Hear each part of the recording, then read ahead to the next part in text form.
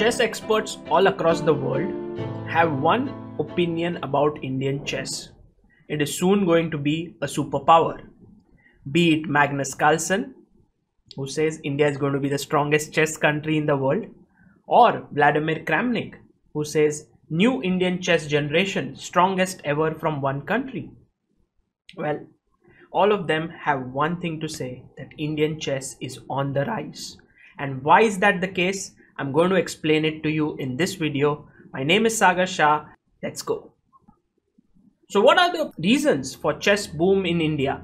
In this presentation, I want to acquaint you with 10 reasons which I think, in my opinion, are the most important ones why Indian chess has risen so well in the last 2 to 3 decades. If you see, in 1987, Indian chess had no grandmasters as on 2020, the country has 66 GMs and boasts of 93,000 plus players registered with FIDE. How did this chess boom come about? Let's find out. The one man revolution. I think it wouldn't be wrong to say that a huge credit of the current chess boom goes to this one man, Vishy Anand. He not only inspired the entire chess community, you know, by his words, but he performed so consistently over the last three decades. He became the first GM of India in 1987 and then went on to become world champion five times. In 2000, he won the Knockout World Championship.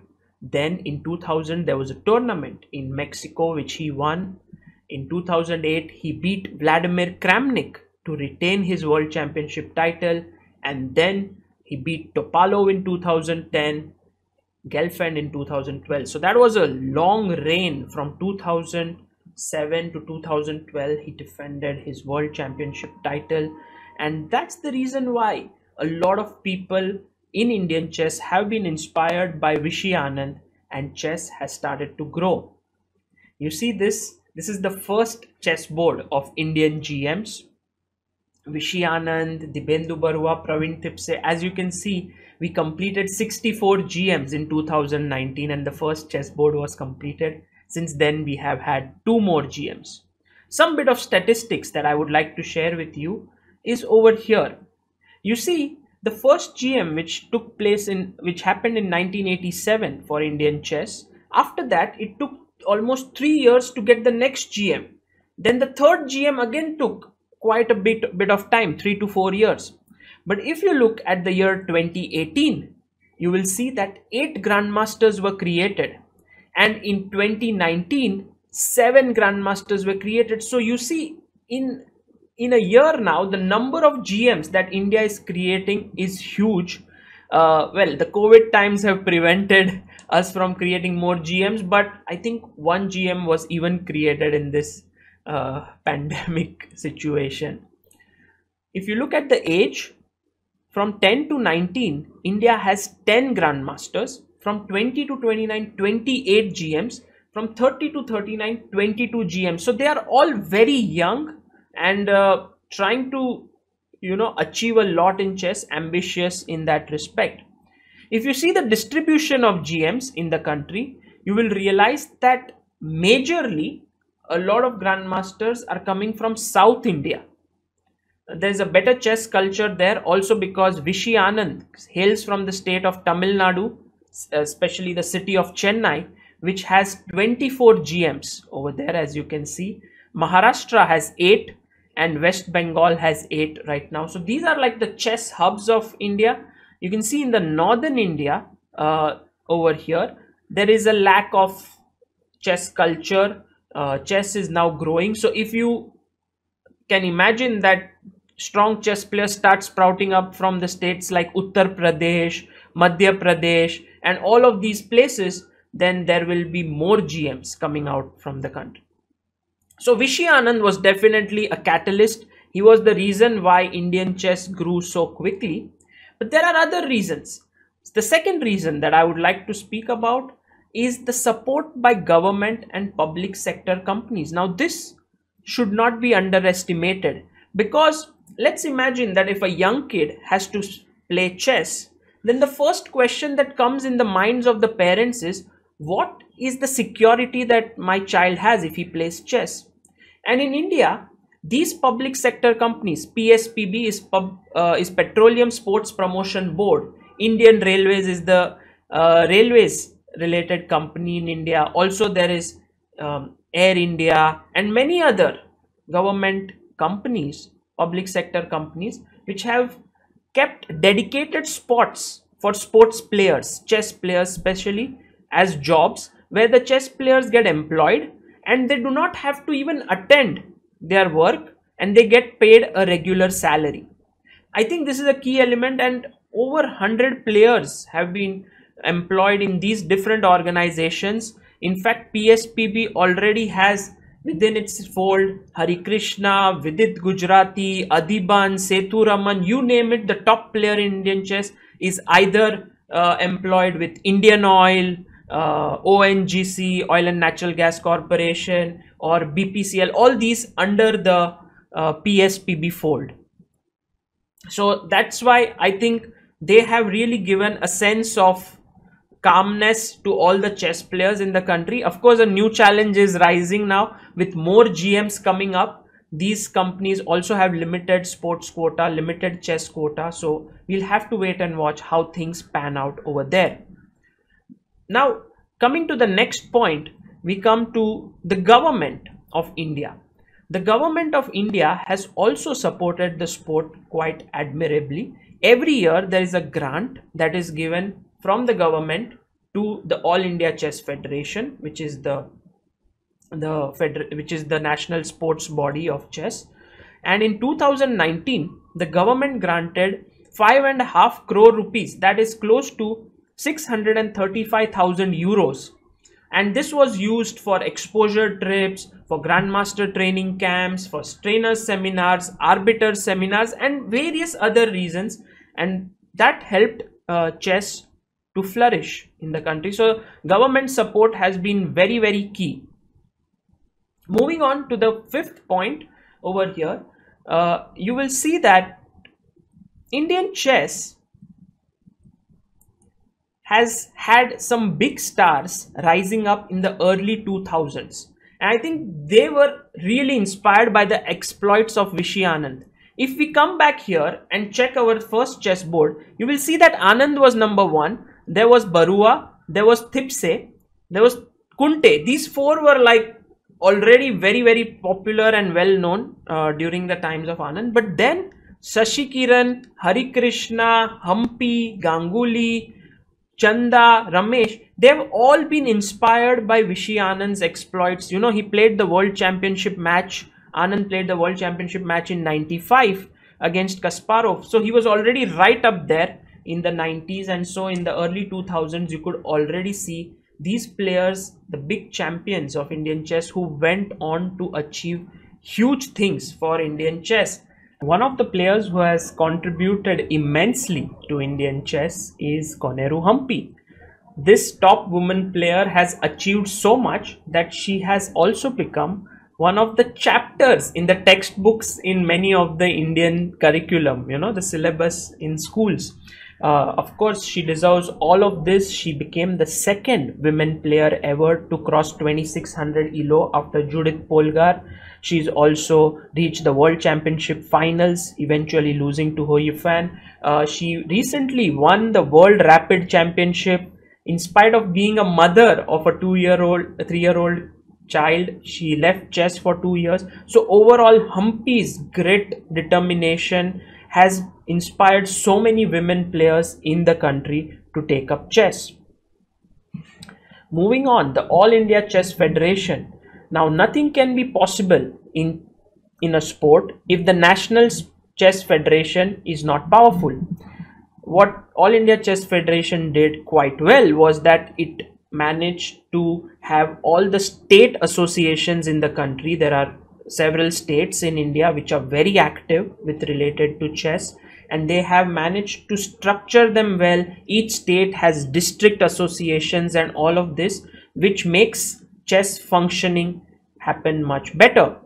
Uh, you know they have also ensured that there are grandmaster tournaments taking place in indian chess for nearly a decade more than a decade now uh, so earlier indian players had to travel out of the country to get the norms but now with 6 to 8 grandmaster tournaments happening in the country and they plan it in such a way that two or three events happen back to back so that the international players can visit at one go and play in several tournaments with a good prize money. Uh, so you see strong GMs 2600 plus GMs coming to India and the youngsters get an opportunity to make their norms.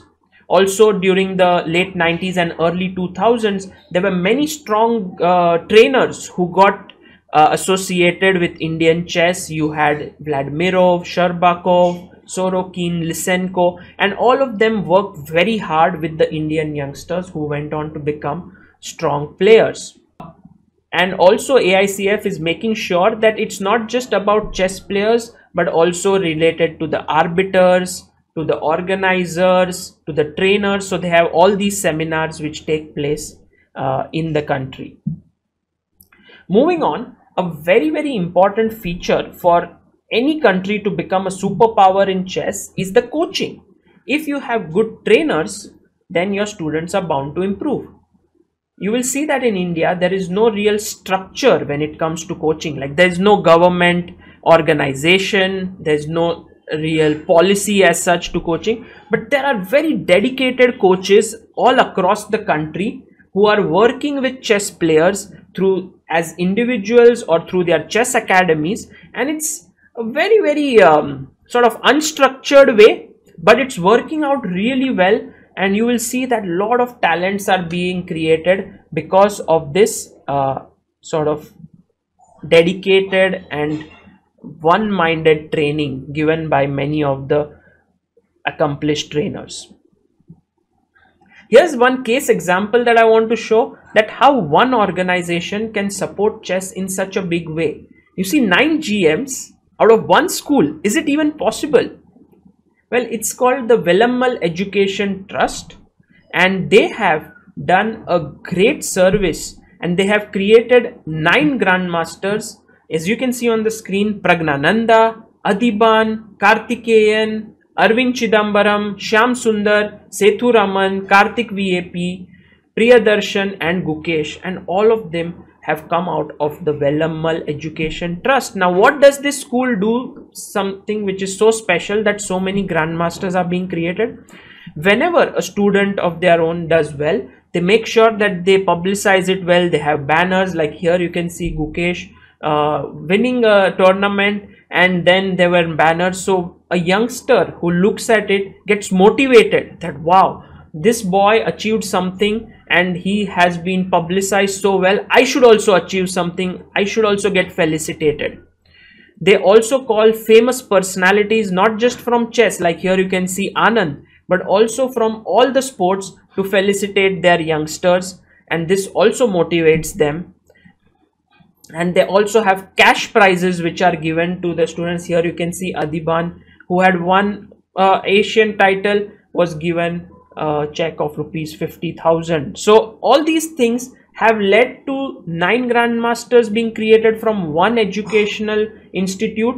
And also uh, it must you must bear in mind that whenever they have to go to school the school is very very uh, accommodative. They give leaves to the students like okay if you can manage your exams that's great. If you cannot then we will make sure that uh, we will adjust your exams and so much support given to the chess players overall. Nothing would have been possible without the parent support. And i believe that indian parents have actually gone on to give their whole and soul to make sure that their kids achieve something truly spectacular. If you see in this picture, you have four of the young talents of Indian chess. On your top right, you have Nihal Sarin. Left, you have Praggnanandhaa. Bottom left, Raunak Sadhwani. And bottom right, Gukesh. These are four young talents of Indian chess, extremely performing well.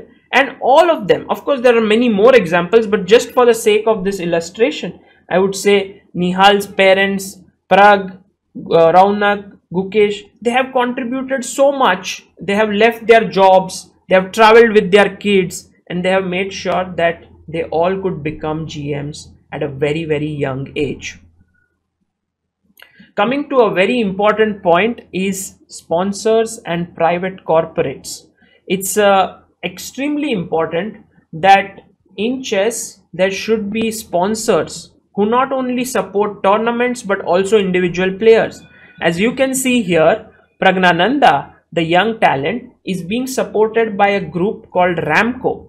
And he wears their jersey and he travels to tournament and he is supported very very well by this ramco group.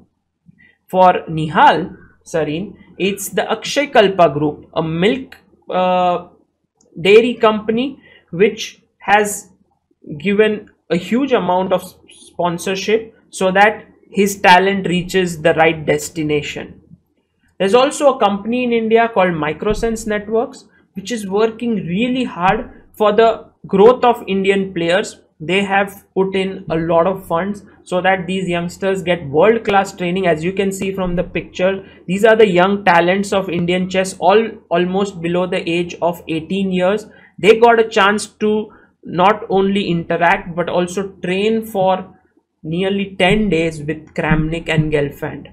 So the first training camp happened near Switzerland where Kramnik trained these six youngsters. It was truly a phenomenal experience for these uh, youngsters. And then the next one happened in Chennai where from six there were 14 participants who all learned not just from Kramnik but also Gelfand. So Microsense such companies they just come in and they support the youngsters because they see the potential that they can, that these youngsters can become the future stars of india. In the lockdown right now it has been quite a tough time for the world overall but for chess it has been a big boom especially in india.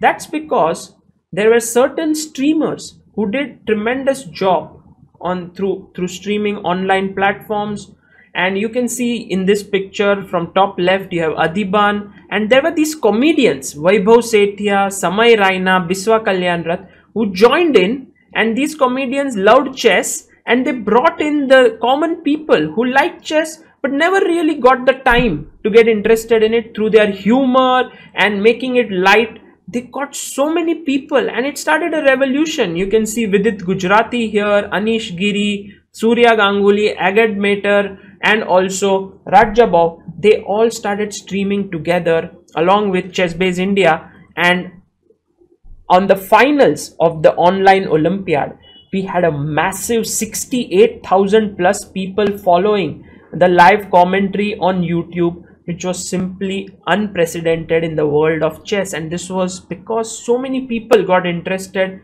in chess during the lockdown. What is the future of Indian chess? Well, I would say it's very, very bright. As you can see, Anand Mahindra, who's one of the biggest businessmen, uh, the head of Mahindra companies, it's a group of companies, a billionaire, he wrote on Twitter that he is happy to talk about the Indian chess league that would happen, uh, that could happen in India in the future. And so you can see that even the biggest of companies in India are getting interested in Indian chess. I would like to end this presentation by saying that ChessBase India started in the year uh, 2016. That's me and my wife Amruta. We founded the company together. Frederic, uh, Frederic Friedel and Matthias Mullen Weber here, who are the uh, founders of ChessBase 35 years ago. And ChessBase India started five years before and we have been working very very hard to promote chess in India to the best of our uh, abilities. In fact, the rise of these young talents has coincided with the growth of ChessBase India. We've tried to bring in high quality news, softwares at a discounted price. So if a software is expensive in Europe uh, or in the US we have tried to slash down the prices and sell original software here so that people can afford it in India because the spending capacity is lower. We have been very very active on social media. We have a vibrant YouTube channel which has 465,000 subscribers. We are trying to get in the best books from various uh, different publishers like quality chess Everyman Chess, um, there is Thinkers Publication, Gambit, and we're trying to get them to India at again a discounted price for the people, for the youngsters to read. We have a foundation that is working around the clock for the youngsters, supporting them with scholarships, those who are not financially able uh, to support their career. We are trying to help them. And also, a lot of online tournaments are being held, especially relevant in these times of lockdown and COVID 19, where players have received a fresh boost and earning.